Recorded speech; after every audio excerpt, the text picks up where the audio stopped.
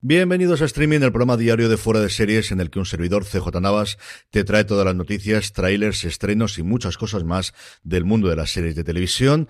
Empezamos tristemente con el obituario. Lo teníamos esta semana muy abandonado y hemos tenido el fallecimiento pues de dos personas muy relevantes, una allí de los mares y otra muy muy cerquita.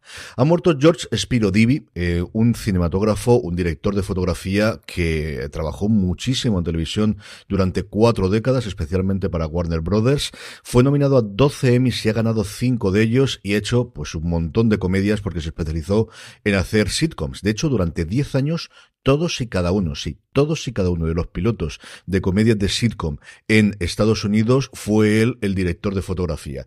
Trabajó en Juzgado de Guardia, trabajó en Los Problemas Crecen, trabajó en Murphy Brown, trabajó en películas en Paseando a Miss Daisy, como os digo, un montón de trabajo. Ha fallecido con 90 años, una larguísima trayectoria y pues eso, que eso no ha sido el bueno de George Spiro Divi. Y como os decía, muy cerquita aquí, Alicia Hermida, ya que yo creo que todos conoceremos por interpretar a Valentina en Cuéntame cómo pasó, pero que fundamentalmente era una grandísima actriz de teatro española y por encima de todo ello, gran maestra de actrices y de actores. De hecho, si veis el Twitter, si seguís habitualmente a eh, intérpretes españoles, veréis la cantidad de piropos, de, de, recuerdos y de lamentos que han tenido eh, un montón, como os digo, de eh, intérpretes intérpretes a los, de los que había sido maestra, de los que les ha seguido y les ha labrado una carrera desde que eran pequeñitos. Debutó en el teatro en los años 50, debutó en cine en 1960 con Maribel y La extraña familia. La Unión de Actores y Actrices en el 2017 la reconoció con el premio a toda una vida y en ese acto recordó que llevaba encima del escenario desde los 13 añitos y ha fallecido con 89 años.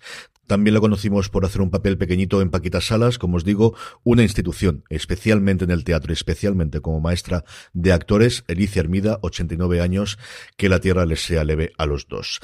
Como suele ser también habitual, después del obituario vamos con los premios. Ya sabéis que tengo esta manía de que lo hacemos al principio de todo.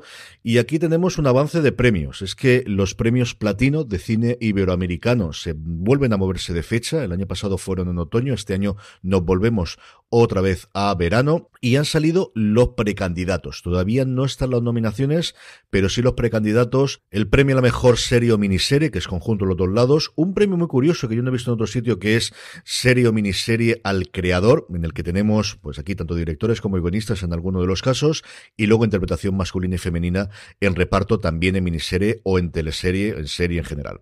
Como son precandidaturas, como os digo, es una verdadera barbaridad la cantidad de títulos que nos encontramos. Solamente, por ejemplo, en miniserie o serie nos encontramos hasta 33 títulos distintos de todos los países iberoamericanos. Por centrarnos en la parte de España, porque al final, por la tierra tira, tenemos nominada a Cardo, que ha tenido cuatro nominaciones en total, o precandidaturas, mejor dicho, que nominaciones, que ya se me está liando el nombre. Hierro, también tenemos eh, precandidatos, como os digo, en el caso español, a Venga Juan y a Maricón Perdido. Cuatro en total en nominaciones a teleserie dentro de las producciones españolas del año pasado. Cuando salgan las nominaciones, que será dentro de un mesecito aproximadamente, que ya es una cosa más avanzada, lo comento.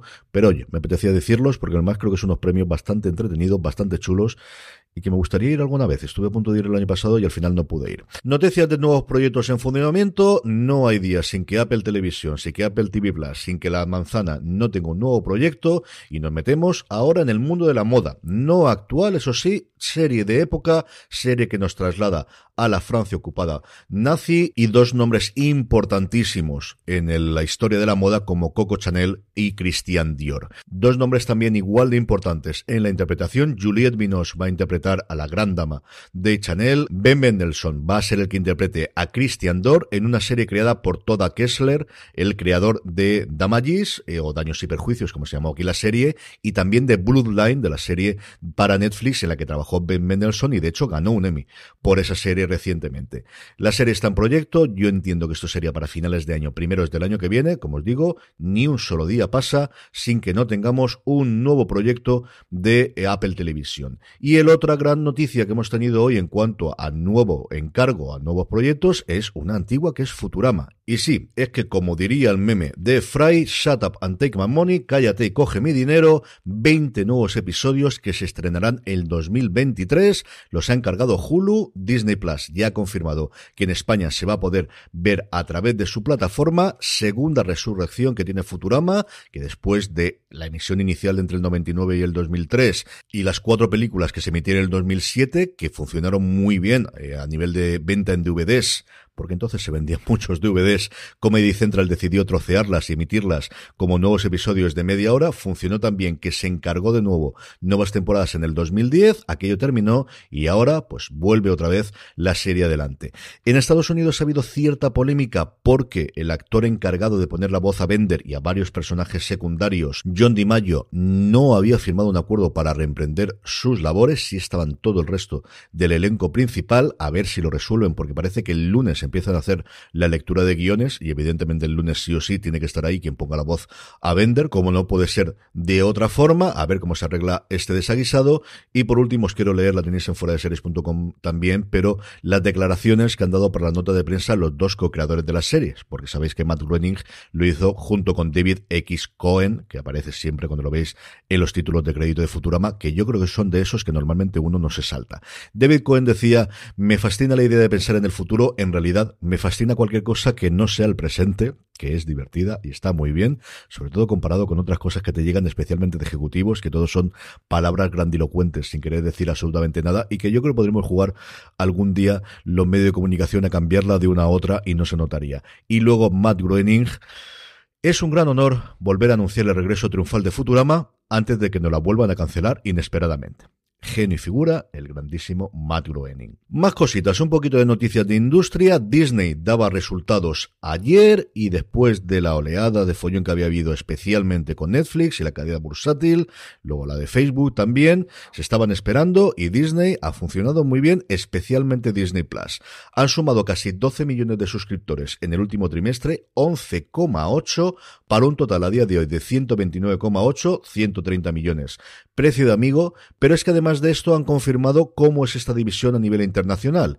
Y resulta que en Estados Unidos solo es un tercio. Netflix durante muchísimo tiempo, el 80 al 90% venían de ahí. Aproximadamente la última vez que conocimos datos de estos es en torno al 50% están en Estados Unidos y Canadá, que siempre lo juntan. Y luego el resto fuera del mundo. Y especialmente con esa apuesta que están haciendo del material más adulto de Hulu, estrenaron en España, que hace esos tweets tan graciosos de cuando la gente descubre que Pam y Tommy la va a traer Disney. Sí, es que no es la Disney de tus hijos, es la Disney de ese canal Star que les funciona muy bien. Como os digo, en Estados Unidos apenas 43 millones, el resto es todo internacional. Y luego, hablemos de dineros, se han gastado casi mil millones, 920 kilos, 920 millones de dólares se gastaron en un trimestre, que si uno multiplica por cuatro, pues ya sabéis, cuatro mil millones. Hablando precisamente de Disney, confirmaron ayer, después de la emisión del último episodio del libro de Boba Fett, pero no en una imagen posterior dentro del mismo episodio, como ocurrió en su momento con la segunda temporada de The Mandalorian, la fecha de estreno de Obi-Wan Kenobi con el primer póster oficial. La serie llegará el 25 de mayo, que curiosamente, o no curiosamente, coincide con el 45 aniversario del estreno de la primera película de la Guerra de las Galaxias. Obi-Wan Kenobi se desarrolla 10 años después de los eventos de la venganza de los Sith. Sabemos que vuelve Iwan McGregor. Sabemos que vuelve, yo creo que en el primer papel, en bastantes, iba a decir años, casi décadas, Hayden Christensen, que está desde luego llamado a tener una reinvención de su persona y un redescubrimiento después de, pues, hasta cierto punto polémica que fue su interpretación en las precuelas. Entre el resto de personas que eh, compondrán la serie, destacaros tres fundamentalmente. Kumal Nanjiani, Indira Barma y Rupert Frien, tres actores que a mí me gustan mucho, muchísimo, todos y cada uno de ellos. Proyectos, pilotos, estamos en plena temporada de pilotos, se están encargando a izquierda y derecha y CBS en Estados Unidos quiere una nueva serie de policías, quiere un nuevo procedimental, la serie se va a llamar Nueva York del Este, East New York, producida por William Filkerstein, que estuvo en su momento en Ley y Orden y en Policías de Nueva York, producida también por Mike Flynn, que ha hecho recientemente Big Sky, que es una serie que está francamente bien, más allá de que a mí las dos actrices protagonistas me fascinen. Veremos qué ocurre con este proyecto de piloto y de qué forma nos llega aquí. Se la compra alguna cadena. Esta es muy dada que la compre eh, pues, TNT o Calle 13 o cosas similares. O que CBS decida que internacionalmente todo lo que estrena en la cadena en abierto americana la trae a través de Sky Showtime. Veremos por dónde van las cosas. Fichajes. Anthony Ramos, al que habéis podido ver en la película de Lee Manuel Miranda In the Heights o habéis podido ver en la última temporada de En Terapia, In Treatment, se une al universo cinematográfico de Marvel, se une a Iron Heart, esa serie que está en desarrollo, que va a estar protagonizada por Dominic Thorne, tomando el personaje de los cómics llamado Riri Williams, que es un eh, adolescente brillante, como tantos hay en el universo Marvel, empezando directamente por Peter Parker, que construye su propia versión del traje de eh, Hombre de Hierro, de Iron Man, en su dormitorio del MIT, del Instituto Tecnológico de Massachusetts, y que de alguna forma es el sucesor de Iron Man, porque sabemos que estamos en esa fase en la que tenemos que pasar la antorcha, pasar el manto a las nuevas generaciones. A mí Anthony Ramos en In the Heights no acabé de ver la película, pero que le vi de él me gustó y en En Terapia de verdad que me gustó mucho, muchísimo. Quizás la gran noticia en cuanto a publicaciones del día es un primer vistazo, este sí, hasta que este domingo podamos ver finalmente el tráiler que se ha anunciado que se estrena en la Super Bowl, así que la madrugada del domingo al lunes ya tendremos un primer vistazo real a Los Anillos de Poder, la serie del Señor de los Anillos. Vanity Fair es quien ha tenido la exclusiva de poder mostrar imágenes del rodaje. Hay una en la que podemos ver a Bayona dirigiendo a uno de los actores y algún rodaje de escenas bastante espectacular en el agua. Y luego un primer vistazo a distintos actores, ahora y así, con su cara bien bonita y no como en esos pósters que no pasaron, encarnando a sus personajes. Vemos al príncipe Durin IV, vemos a Arondir, vemos a Disa y fundamentalmente y sobre todo cosas, vemos a Galadriel con uniforme de batalla, con la coraza, con la espada, con fuego detrás. Es mi imagen favorita de todas las que hay. Os pongo el enlace en las notas, que como siempre sabéis que la tenéis en foradeseries.com en la entrada de este podcast para que podáis verlas porque valen mucho la pena y posiblemente las subamos también a redes sociales donde sabéis que somos en todos los sitios fuera de series. Hablando precisamente de trailers, dos cositas. Una de ellas, quinta y última temporada de Better Things, la serie de FX, llega a su fin. Esa comedia creada por Pamela Anlon que tuvo sus problemáticas para arriba y para abajo, porque el co-creador, y de alguna forma, gracias al que la serie salió inicialmente para adelante, fue Louis C.K., con todos los problemas posteriores que tuvo en el mundo de Hollywood. La serie ha seguido adelante solo con la dirección de Pamela Anlon. Y, como os digo, el 28 de febrero se estrena en FX. Entiendo que aquí llegará a través de Disney Plus. No sé si al principio, no sé si todo una vez que se emita en Estados Unidos llegarán todos los episodios de golpe, como alguna serie reciente suya que se ha anunciado, o qué va a ocurrir. Y luego, Parque Jurásico Dominion, ¿qué cine? Sí, ya lo sé, pero es dinosaurio. ¿Qué queréis que os diga? Es que son dinosaurios. Está el tráiler ya, supongo que ya lo conoceréis, pero si no, lo podéis ver. Yo Parque Jurásico es una de mis obras favoritas, no tanto la película, que me fascinó y maravilló, sino el libro. A mí el libro cuando lo leí me marcó muchísimo. Todo lo que contaba Crichton acerca de la teoría del caos me rompió totalmente la cabeza cuando lo leí. Yo creo de adolescente, o si me apuráis, de preadolescente, que uno para estas cosas de lectura siempre ha sido muy precoz y me fascinó, así que todo lo que sean eh, dinosaurios es bien. Y mira que a mí las últimas películas no me hayan matado especialmente, me parecen muy loca. Pero al final, a uno le pone un dinosaurio y en esto, como mi hija Charlotte, que ha salido a mí, todo funciona mucho mejor. Estrenos, tres cositas para hoy viernes. La primera, el gran estreno de la semana posiblemente, es ¿Quién es Ana? Esta historia alrededor de una rica heredera alemana que se traslada a Estados Unidos y vive con la jet set de Nueva York hasta que se descubre que nada de alemana, nada de rica heredera, una emigrante rusa que se hacía pasar por ello y que la cosa acaba bastante mal. La primera serie en más de 10 años creada por Sonda Rhimes personalmente, muchos proyectos de su productora Sondaland, incluida de Bridgertons, pero es la primera serie que ella personalmente crea. Las críticas han sido dispares por decirlo bien. Alan Sepilwall, que es posiblemente mi crítico de cabecera, que escribe actualmente en The Rolling Stone, la ha puesto casi que a caer de un burro. He visto otras críticas que la ponen bastante mejor. Como os digo, es el gran estreno de Netflix. Mucho tendría que cambiar las cosas si no está muy alto la semana que viene cuando tengamos el estreno en el top global y sobre todo en el top americano. Prime Video estrena With Love y confirmado, confirmadísimo, Pluto TV en España estrena ya el episodio de la semana de la segunda parte de la cuarta temporada de Star Trek Discovery, que ayer se estrenó ya en Paramount Plus en Estados Unidos, los seis episodios que faltan hasta terminar esta cuarta temporada que como siempre analizaremos en Universo Star Trek, que si no ocurre nada lo haremos justo después de la emisión de Pluto TV aquí en España. Emiten el episodio de las 9, pues a las 10 nos conectamos Dani Simón, Jorge Navas y un servidor a las 10 de la noche en Twitch, twitch.tv barra fuera de series para hablar, diseccionar, comentar quién nos ha parecido el episodio de Star Trek de esa semana en Universo Star Trek y si nos queréis ver en directo y comentar en directo ya sabéis, twitch.tv barra fuera de series os suscribís desde ya y así os avisamos cuando lo tengamos. Y el sábado 12, estrenos para el fin de semana, el domingo no hay nada, la segunda temporada de Dollface en HBO Max. Como es viernes, como es habitual, hacemos el top 10 de Netflix que ha dado la cosa durante esta semana.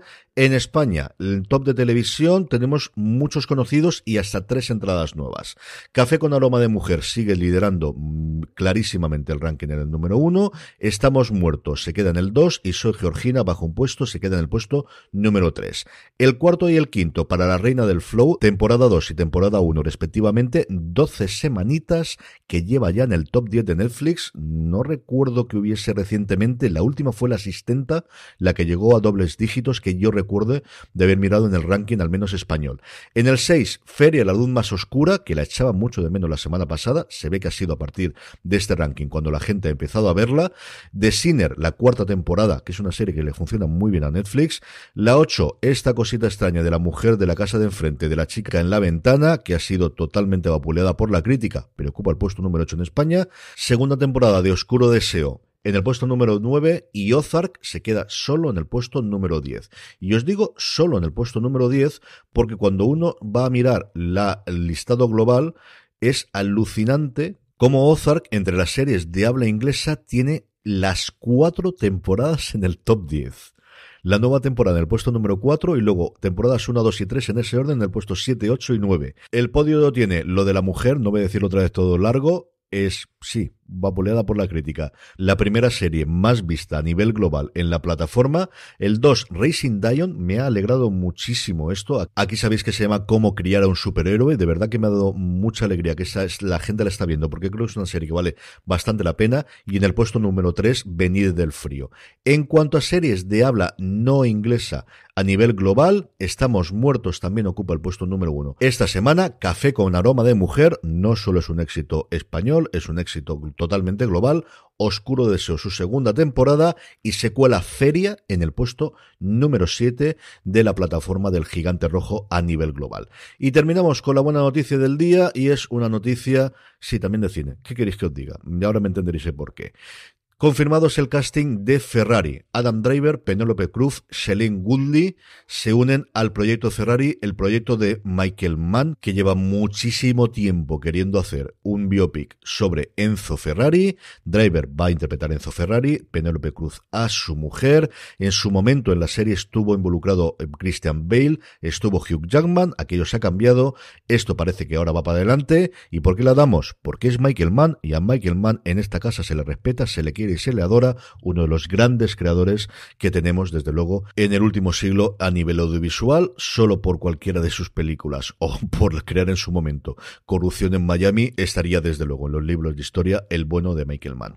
Con esto cerramos por hoy. Sabéis que el domingo a partir de las 11 tenemos fuera de series en directo con Jorge, con Don Carlos y con un servidor, que nos podéis ver también a través de Twitch. Y como os he dicho antes, si no corre nada, hoy viernes a partir de las 10 de la noche en Universo Star Trek, aquellos que veáis el episodio en Pluto TV a partir de las 9 en emisión lineal. Gracias por estar ahí, que tengáis muy buen fin de semana y recordad, tened muchísimo cuidado ahí fuera.